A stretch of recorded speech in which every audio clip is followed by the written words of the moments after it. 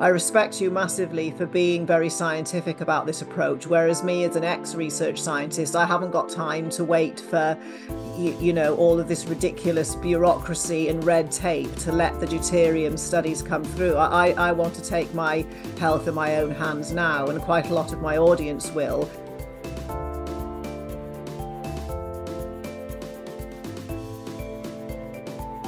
Hello and welcome. I'm Sara, and in this video, I had the pleasure of interviewing Dr. Gabor Somlyai, who was a molecular biologist and an expert in cancer and deuterium, and he has over 30 years research experience, many publications, and clinical studies. I asked Dr. Somlyai to explain cancer and deuterium in layman's terms, if he, as if he was talking to my mother, as well as explaining in more depth with a professional overview of his research clinical application so that researchers and doctors can benefit from this video as well. We discussed deuterium and its role in cancer and how deuterium depletion is a safe and non-toxic method for tackling cancer and other chronic diseases such as diabetes and obesity. Dr. Gabor has a book on deuterium depletion, which goes in a lot more depth than this interview and has protocols, and the links are in the description. You can now join this channel to get perks like priority and detailed answers to comments, and this helps me make more content and get more guests on the channel. I have a new course out on minerals, as mineral deficiencies and excesses can cause things ranging from mood disorders, low energy, hormone imbalances, food cravings and minerals are often completely overlooked. Um, and a lot of people aren't even aware of the benefits of just something like good quality sea salt. So the link's in the description and use code Sara for 15% off. If you want to work with me, I've got a very affordable monthly coaching group with live Zooms and an open forum. So that aside, let's dive in to our discussion on cancer and deuterium. Thank you very much for coming on the channel. Do you want to introduce yourself? My, my name is Gabor Somlyai. I am a molecular biologist. I graduated very long ago, 1982. And uh, the reason I went to become a biologist because my plan was to work on cancer research, hoping that we can get add something to the that research field, hoping that that that can help people to be cured. So finally, I had a good idea when I was a student that was based on the deuterium hydrogen and and that research started more than 30 years ago. Uh, we have published several papers uh, in that field. We have tested in clinical trials and in a prospective retrospective study. So we are pretty sure about that, that if we want to solve the cancer problem, we have to integrate that type of uh, research, what we have uh, published and discovered uh, to the existing therapy, and that way we will be very happy and, and, and successful in, in cancer therapy. Because I know you've got data that you followed over 2,000 patients. And also because I worked in scientific research, I know that certain areas aren't funded and deuterium is so important, yet there's limited funding um, in that area. Because I know, didn't you have to start a company at some point to be able to get funding, or was that Dr. Boros? Yeah, it, so we are facing with two difficulties. First, uh, the science part. The other, how can we convince the world, the, the scientific community, and even the pharma industry that we, that they have to uh, check out our discovery and and integrate into the uh, drug development. So the science part is, is looks easier because if we carry out experiment one by one, proving uh, the data and proving the, the if efficacy or, or the consequence of deuterium depletion. That way we can proceed and sooner or later the scientific community accept the data. And if we check the PubMed searching for deuterium depleted water, there are over 200 uh, paper published in the last uh, 30 years and the number is increasing, which means that starting with our very first paper published in 1993. After that, slowly more and more scientists uh, uh, joined to that research field and did different type of experiment with deuterium depleted water, checking the possible role of deuterium in the living organism. Uh, and, and of course, our company targeted to develop human cancer drug. And the other difficulties is the funding part. So we know that to, to register a cancer drug, it takes about and cost about 100, 1 million, 2 billion dollars. So we started with $1,200, that type of uh, project. And to, to cover the, the, the expenses, we came out with a product, which is a deuterium depleted drinking water, and the revenue was used up to, to support the research and, and move forward, collecting new data and collecting, uh, uh, following the patients who had been consuming DW. And that, that is the situation where we now. So we invested about over 20 million euros uh, at that type of research. We completed toxicology safety study. Uh, we have a GMP facility to produce deuterium depleted water, so we are ready to start clinical trials with, with different type of cancer. But, but on the other hand, now we need about 10 million or 15 million euros to start a double-blind phase two randomized clinical trial. And then we are waiting for that, that type of fund.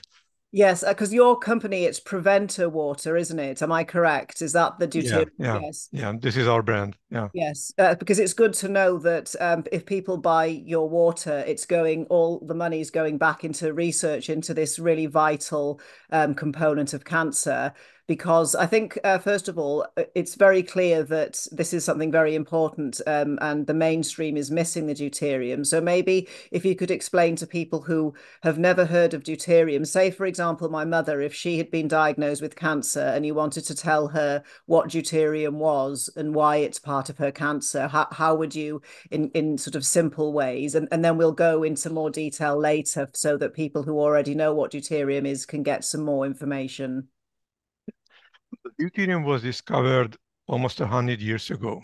The deuterium is a heavy hydrogen. People have heard about maybe heavy water. It means two deuterium binds to the one oxygen. And the deuterium mass number is 2 comparing with the normal hydrogen where the mass number is 1.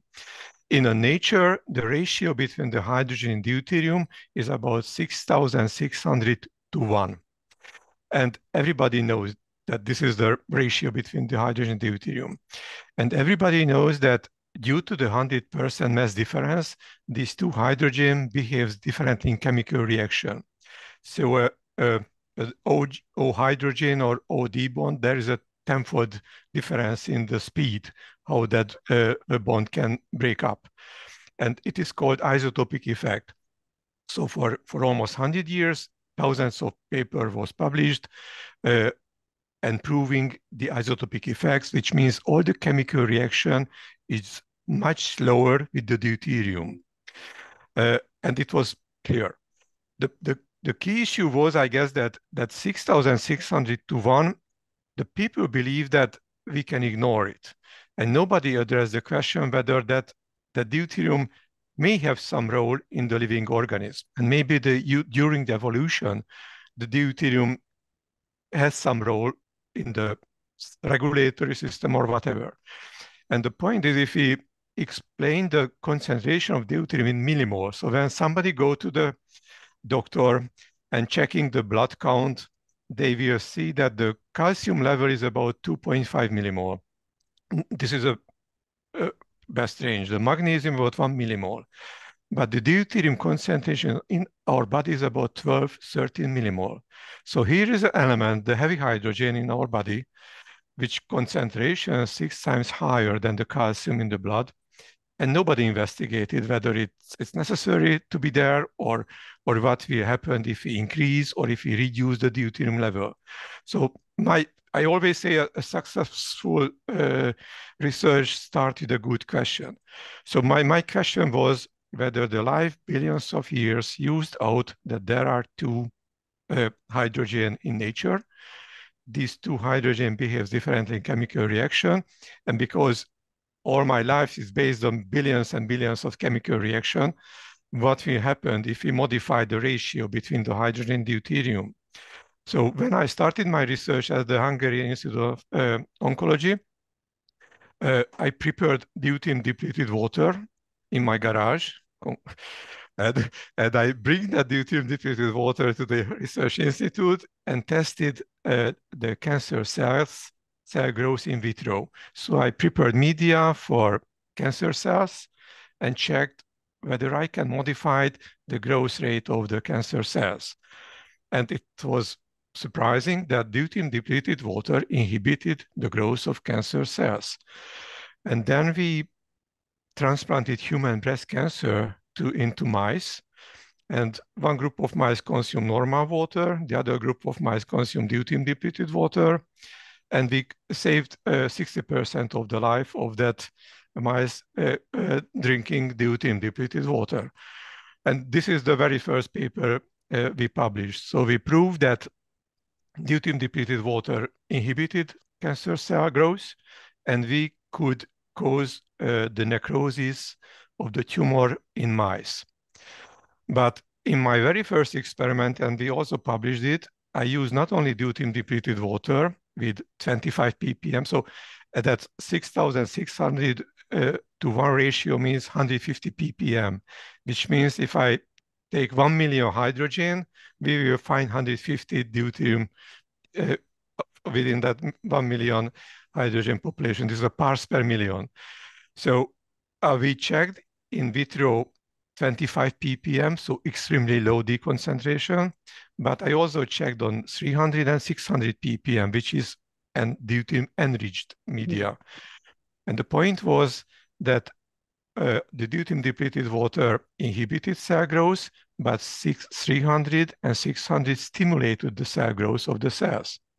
So the concept was when we, when we published that paper 30 years ago, that based on the research which was made and carried out several other scientists, that everybody agreed that when a growth hormone binds to the membrane uh, receptor, that will stimulate uh, sodium hydrogen antiport system. That means that the cells transport one hydrogen out of the cell and pick up one sodium. And everybody agreed that when a growth hormone binds to the membrane, that stimulate that uh, transport system. It means that the hydrogen ion concentration will decrease in the cell. And everybody agreed that that somehow is a signal for the cell to multiply and start the cell division. So in our paper, we concluded when the growth hormone binds to the membrane, stimulate the hydrogen transport system, that will prefer to eliminate the hydrogen. It means immediately the deuterium level ratio will increase within the cell. And we concluded that the final signal for the cell to start the cell division is a higher DH ratio.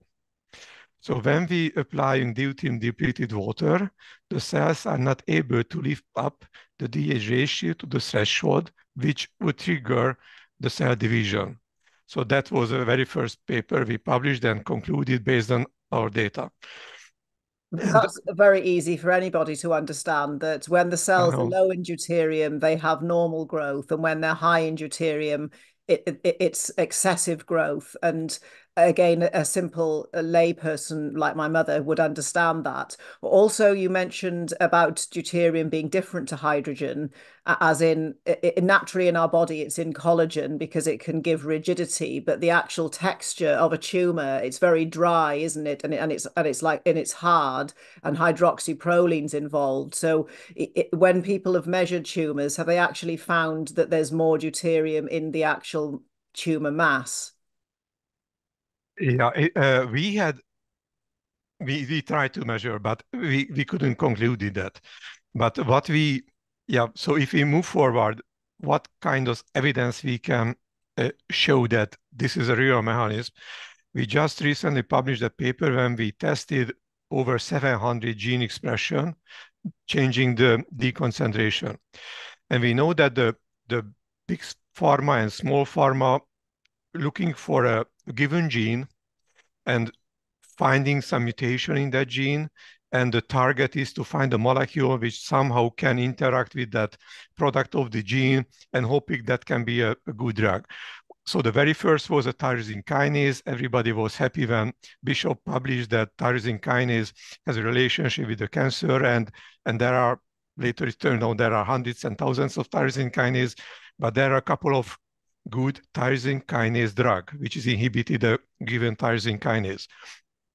But the, the question is, uh, when we think about how the cell is able to, to organize that extremely complex system, what we call life, that in, in a single cell, talking to uh, your mother, which, which size is about 40 micrometer, and within that 40 micrometer, there is a 10 micrometer nucleus, and that nucleus contains 1.8 meter length DNA and it is packaged in the nucleus and and the 25,000 genes uh, suppression expression is perfectly coordinated and regulated.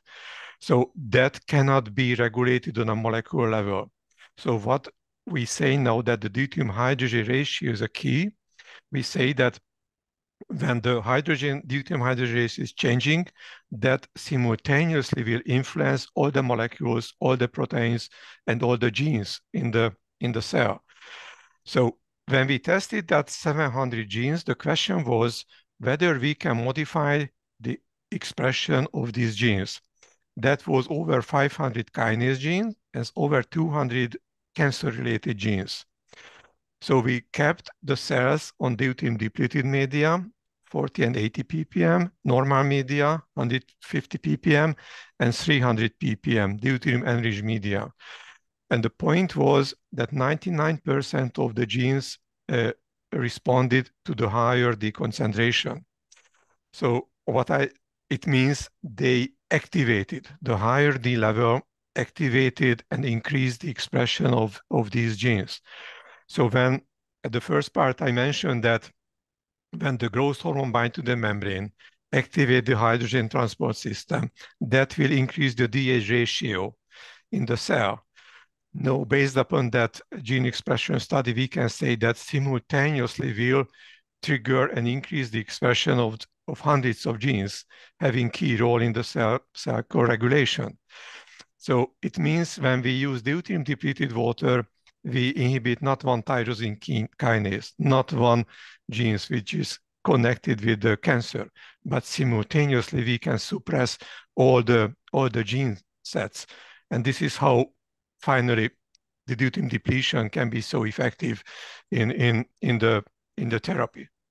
Yeah, that makes sense. So rather than people thinking that tumors have got deuterium in them, deuterium and hydrogen act as switches like a binary code. So you can imagine that when the ratio is wrong, the information that goes to the, the, the nucleus is incorrect because the deuterium created the wrong signal and signaled growth. So, so that's a very um, good e explanation for people to follow. It's crystal clear. But, but also, my mother would know what a mitochondria is as well.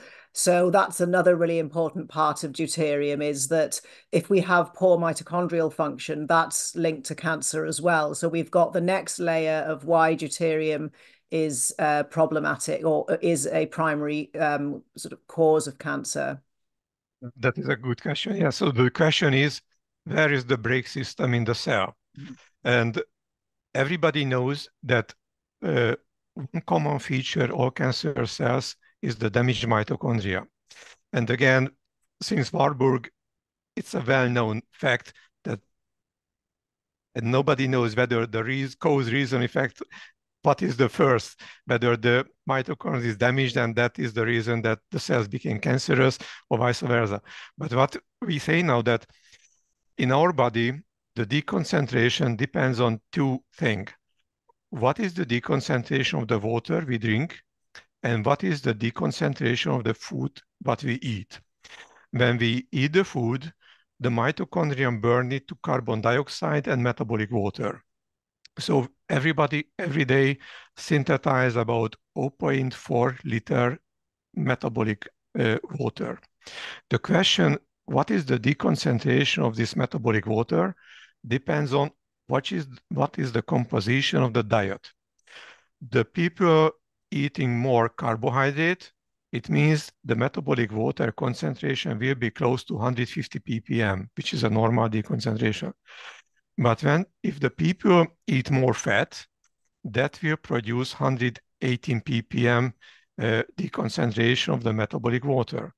So based on the uh, composition of the diet, that will determine the D concentration of the metabolic water in the mitochondria.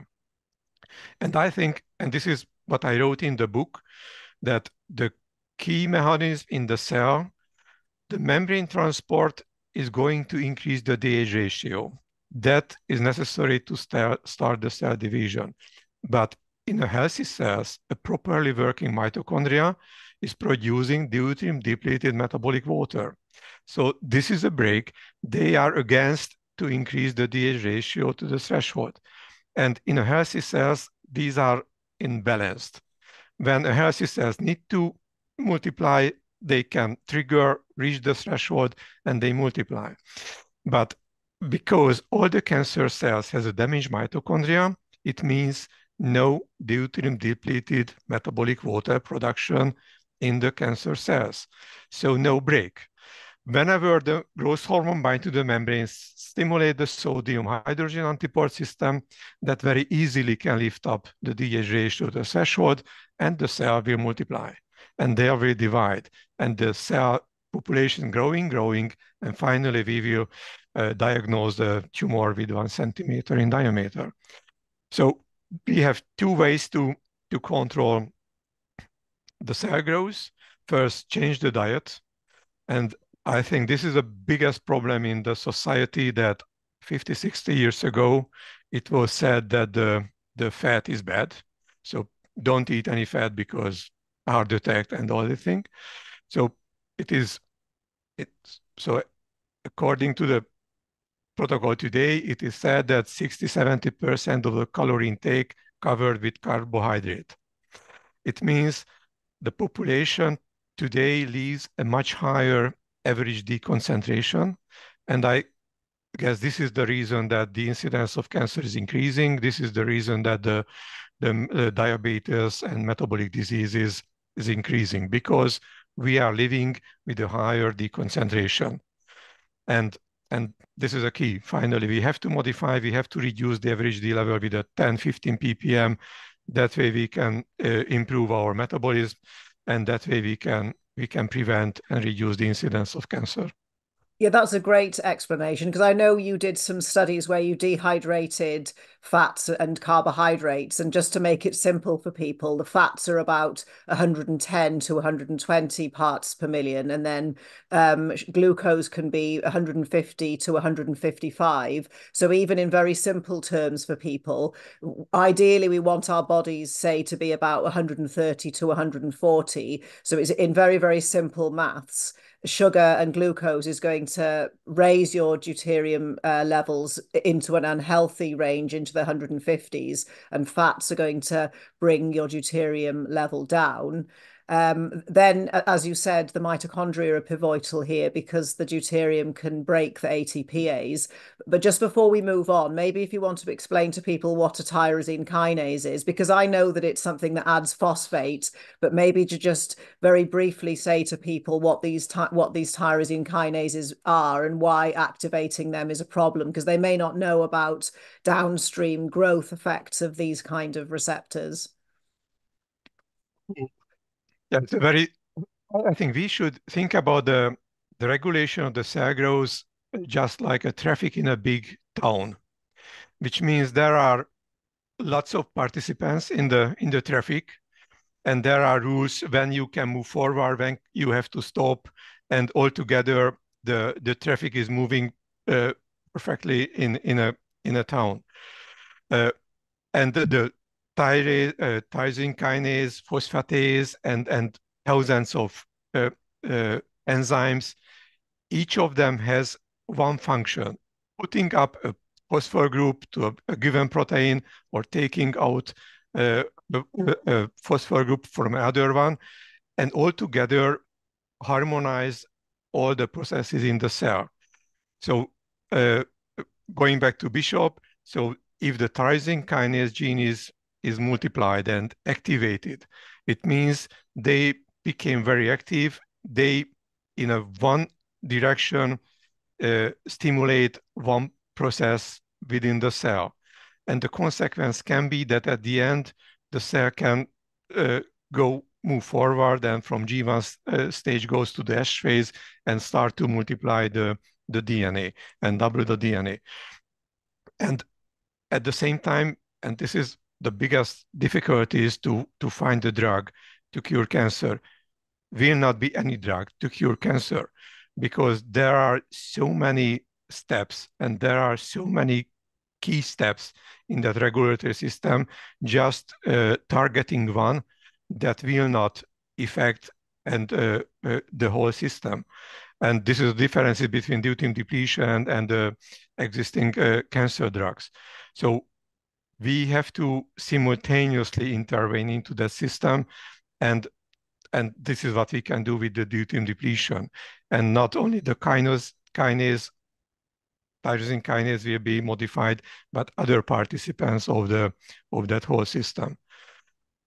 So this is i hope oh no that's a great answer because what this says now is that we have control over our deuterium. F fair enough, deuterium in our drinking water is going to vary from how close we are to the equator, but we can control our way of eating. And also, we can buy deuterium depleted water, and you can deplete deuterium as well by exercise and sweating. So, so maybe you want to now talk a little bit about your studies and your patients and what kind of cancers they had, what your uh, uh people can uh, grab your book um, because I've read it and it's got protocols in it and it's go- and it goes into lots of detail. But maybe if you'd like to talk about y- your work and your clinical experience, uh, so that people can see that it's very it's very practical. They don't need to take that deuterium depleted water is not a, not like a pharmaceutical, even though it's a licensed um, drug for animal cancer. That's correct, isn't it? But it, but it's something natural. And maybe if you want to w- talk about your thirty years worth of of, of patients. So so if we want to get a cancer drug, we need to complete a phase two double blind clinical trial. And we were lucky that we completed one with a prostate cancer population uh, more than 20 years ago when uh, the treated group consumed 85 ppm deuterium depleted water, the placebo group consumed the normal water, and the, the water was marked with a number, and nobody knows which number means the deuterium depleted water and the and the uh, uh, placebo normal water. So that study lasted for for four months.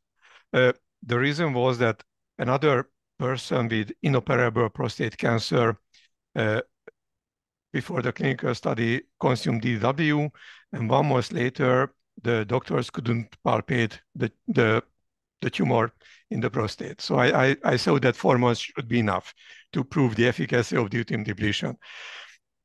When we closed the clinical trials, we saw that there was 80% decrease in the tumor marker value of the PSA in the treated arm, and that was only uh, 47 percent decrease in the PSA.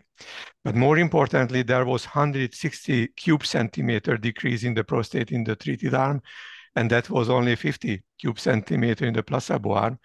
And even more importantly, when we checked the survival of after a year, we found that uh, two people died out of 22 in the treated, but nine in the placebo group. So it was clear that reducing the D level for four months that cause the shrinkage in the prostate tumor, that reduce the tumor markers, and increase the survival of the patients. Unfortunately, the authority did not accept it, that, that data. So after that, we couldn't start new clinical trials.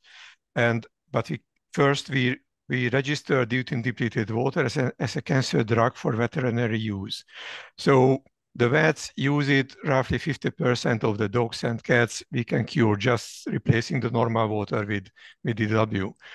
But uh, as to finance our research, because nobody wanted to support us, so how crazy can be curing cancer with water? And I understand that. So we came out with a product with deuterium depleted drinking water, and those who shared with us the data and the test results I started to follow them. And so what we, and, and we published papers with breast cancer, lung cancer, pancreatic cancer, just recently with glioblastoma. And I started that. The glioblastoma is one of the worst type of cancer type. Uh, it's a one type of uh, brain cancer, very short median survival time. So we evaluated 55 uh, patients consuming DDW with uh, glioblastoma. Typically, the median survival time, which means uh, what is the time frame within 50% of population still alive. It's about 10, 10 12 months with a glioblastoma.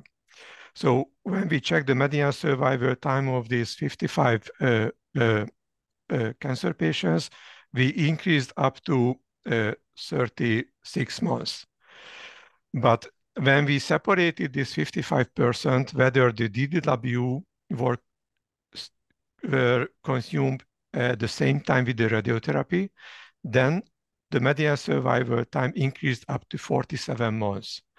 So it means we can get a three, four-fold increase in median survival time if we can uh, uh, adjust and, and combine the DDW consumption with the radiotherapy. And we have similar numbers with, with lung cancers. The lung cancer population median survival time is about eight, 10 months. If we uh, we check the survival time of over 300 lung cancer patients, we go up to 48 months. And interestingly, when we checked the, the gender for females and males, with the females, it goes up to over 100 months. So extremely, the women's always responds much better to DDW than the men's. That that's so interesting. So for females, would that mean that they'd respond better to a ketogenic yeah. diet for depleting deuterium? Do, do, you have any idea why? I know there's estrogen uh, receptors in, and estrogen has a protective role in many ways, but I, I, genuinely don't know the answer. I just wondered if you had any idea why women respond better to deuterium depletion of any kind than men. We had again we, we published another paper when we checked the mice uh, how the how the carcinogen agent uh, trigger the expression of a couple of uh, cancer gene. And, and what we found that uh, the c-MYC gene uh, extremely responded in the female, but not so in the male. And when we treated that mice with a DDW, from the females, from the high expression, the DDW reduced very low, the, the expression of, of the c-MYC, but not in the male, uh, male mice. We, we are not sure, but maybe, so the, in a, maybe in the females, a uh, couple of genes are more responsive, uh, for example, uh, carcinogen agents are more expressed. And when applying DDW, that gene even responding very well, and we can uh, uh, uh, cut down the expression of these genes. And maybe this is the reason, but we need to do several other study to to know the real reason why the females respond much better to the to the deuterium depletion than the males that's very important for working out a protocol because yeah. sometimes people just rush out and buy deuterium depleted water and try and do everything all by themselves so when you say when you start a depletion protocol did you say that your cancer patients would start on 85 uh, parts per million um, and then work their way down or do they start at 100 how just in sort of simple ways so that people don't just rush out and try and drink. Because you can buy 5 ppm uh, deuterium depleted water maybe explain to people about a little bit about how to use it and how rushing out and just buying it isn't the best way and and how you need to make a protocol yeah, so th this is one reason that we, we believe that we need to register it as a cancer drug, because in that way, that will be part of the oncotherapy. But we are not at that stage. So if someone has cancer, it's good to look around and, and, and learn about how to use the deuterium depleted water.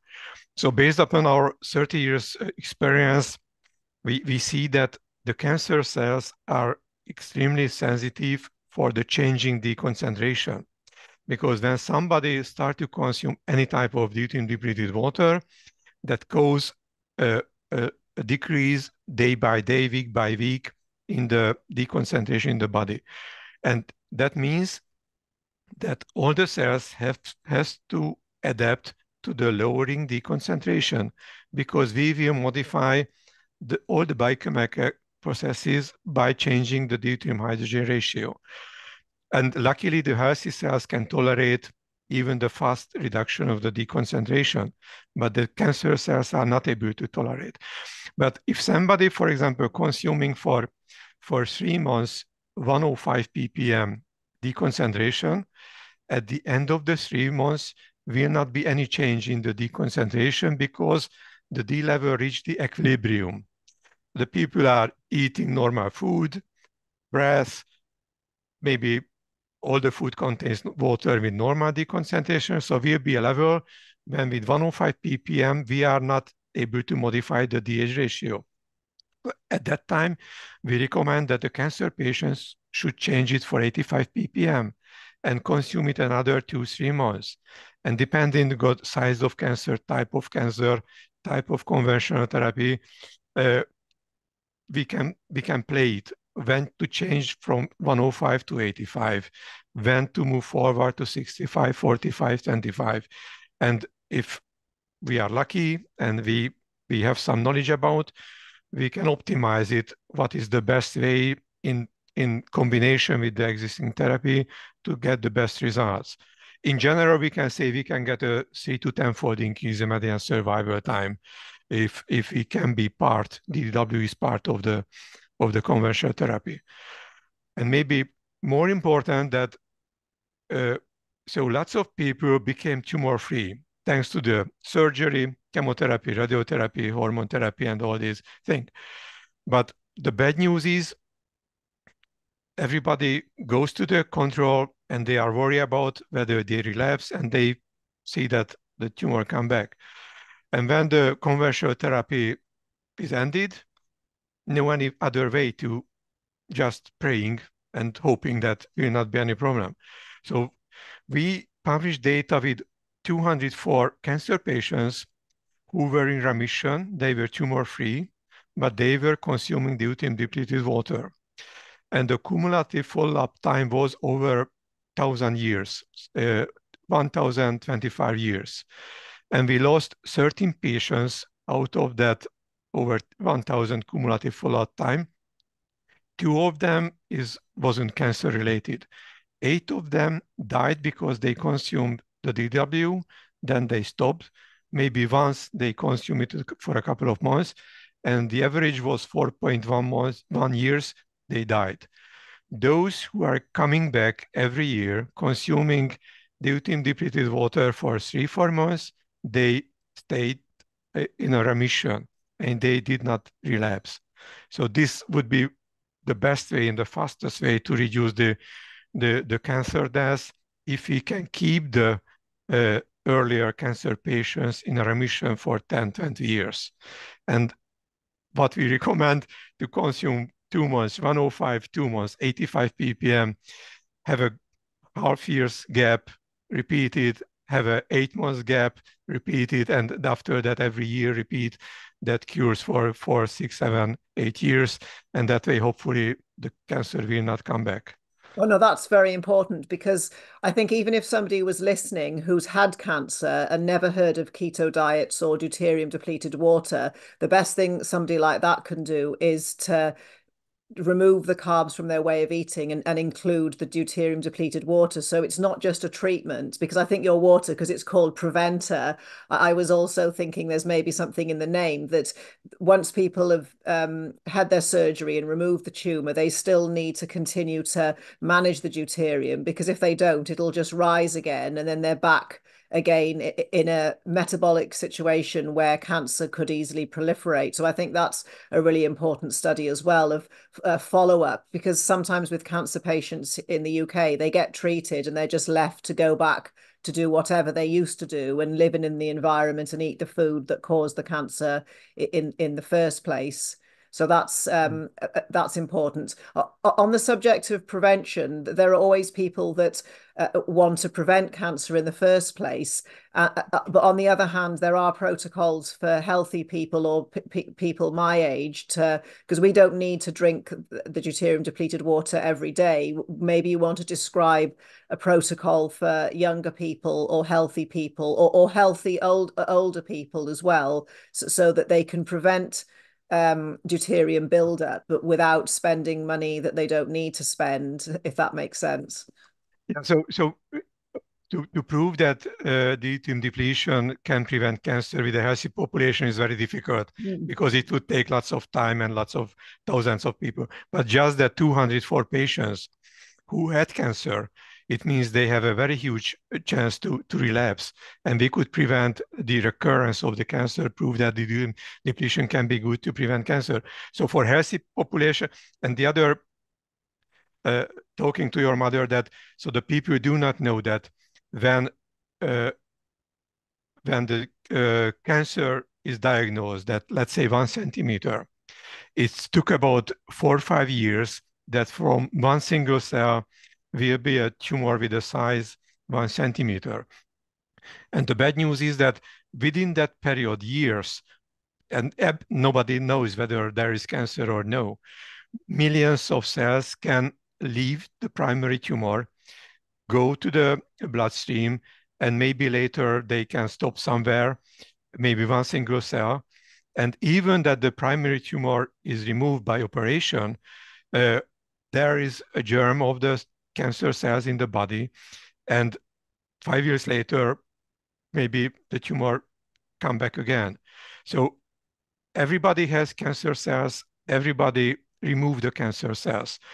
But uh, if we want to reduce the incidence of cancer, would be nice, would be good to make three, four months cure for the healthy population because we don't know uh, what is the size of the group of cells which maybe one, two, three, four, five or will be diagnosed as a cancer. But that way we can eliminate this small group of cells and we can again, be, we will be in a much healthier position because we removed all the potential uh, uh, cancer cells causing or will be diagnosed a couple of years later. And so that's it. We, we, we believe that after 35, 40 years, the incidence of cancer is increasing exponentially.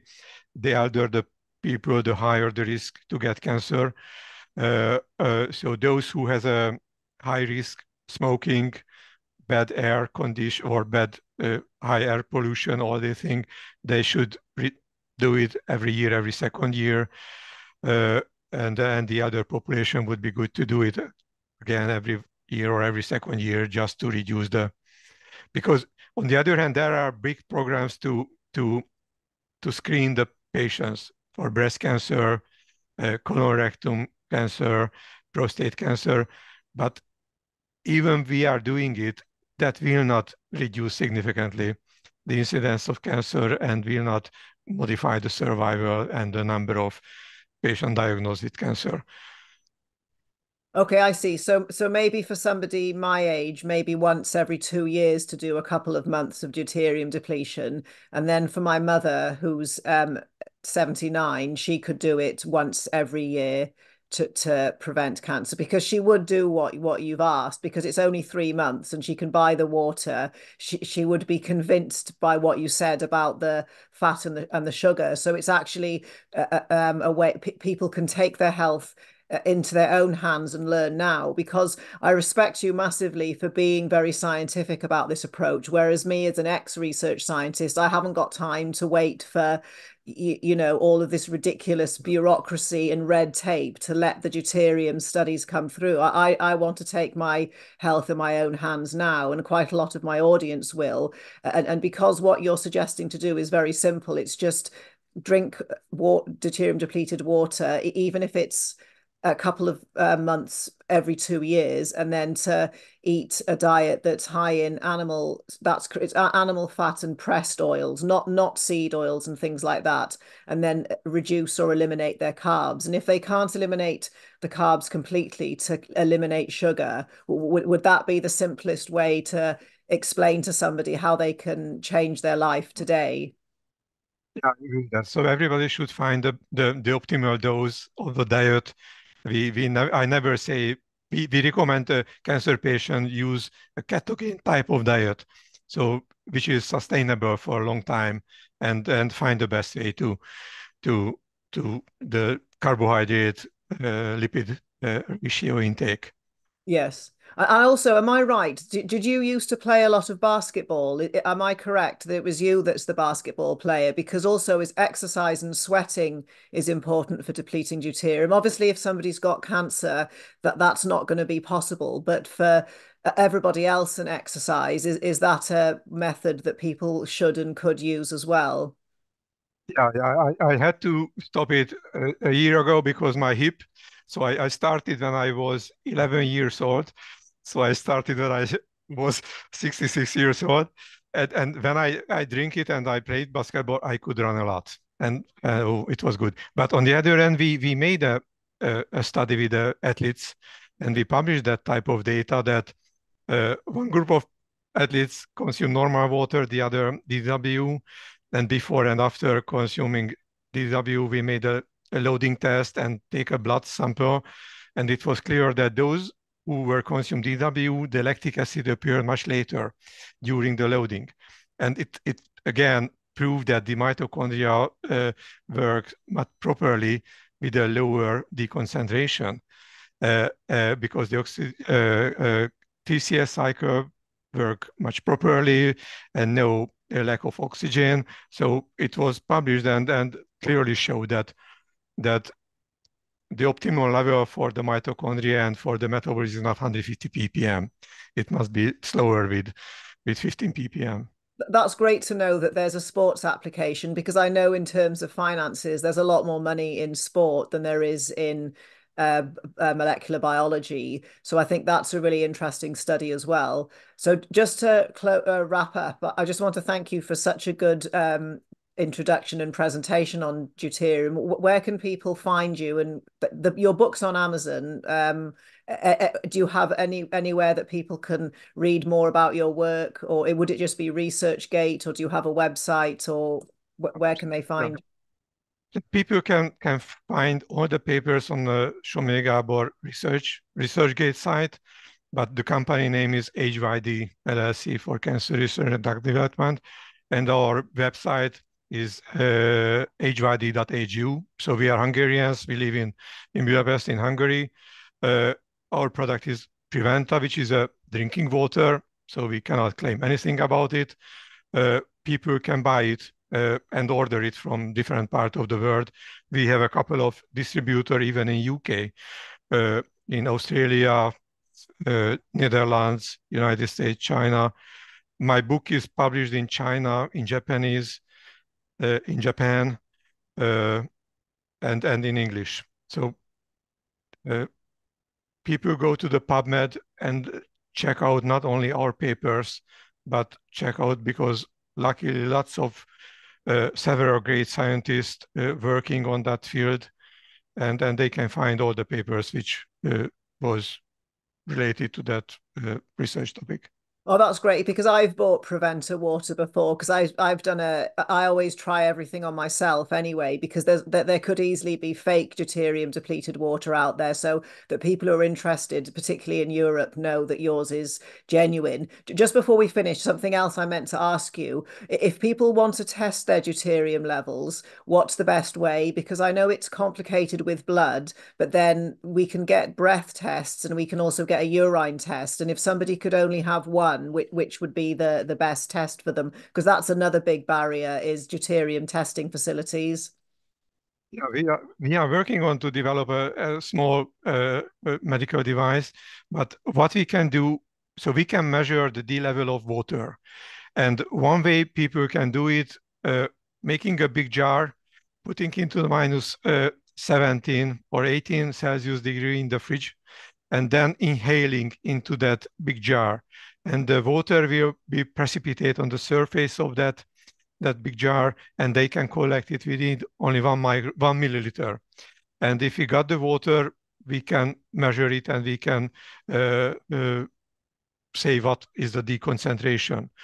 On a, is, is that for a person? Is that the um, breath uh, deuterium? Yeah, yeah, yeah. So would you say that that's because I know we can buy those in the UK. I think we actually have to order them from Hungary, and then they get shipped, and then it's it's a, it's it's a two step process. But I know some people, some of my clients have been asking about urine tests and would you say that they have value or or or would it be in conjunction with a breath test so what our equipment is, is a laser equipment that equipment is dedicated to measure the D concentration of the water mm-hmm, right. so we cannot use it for for uh, saliva uh, or or urine or whatever because that equipment is not able to uh, or ready to do that uh, of course, there are techniques to to take out the water from the blood as we have measured, but then we need a mass spectrometer, which is even more expensive, more complicated, and so on.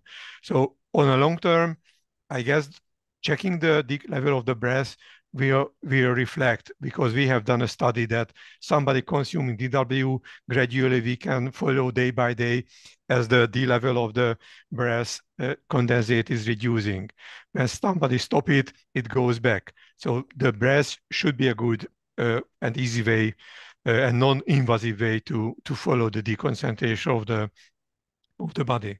Oh no, that's great. I just wanted to know that because that's something that in in the future, one of my ambitions is to have a deuterium testing facility in the UK. Because when I worked in structural biology, I did lots of different things. We have numerous mass spectrometers just sitting around in the University of Leeds, and, and sometimes or, or, you know they always want to collaborate. Universities like to do business so offering a deuterium uh, testing facility in a university that already has a, a, a, very good mass spec it is a very useful way forwards for me because that would be for blood. But for, for measuring in the breath what you need is just laser spectroscopy isn't it that you use? Yeah, yeah. It is part of the GMP facility, the production. Yes, it's not a, it's not a complicated piece of biophysical equipment. But anyway, I just wanted to thank you for your time, and it's been superb talking to you. And I'm sure that a lot of people will find this of value. And thank you for everything that you do and for your book and all your research. It's a great help. Thank you. Thank you.